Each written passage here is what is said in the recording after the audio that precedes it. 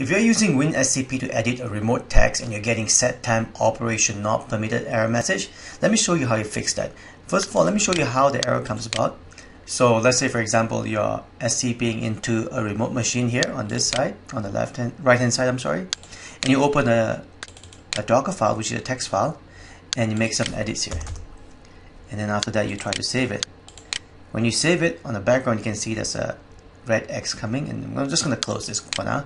You can see that it says that set time operation not permitted error comes about, right? I'll show you how to solve this. Click OK for now. On your transfer setting here on the top here, right now I'm set as default.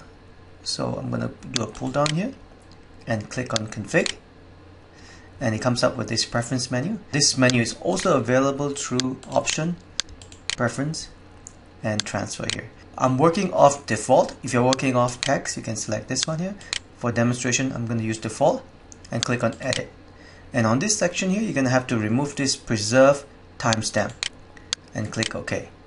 So now the default has been changed, but the text has not been changed yet, right? So we're just going to use default for now.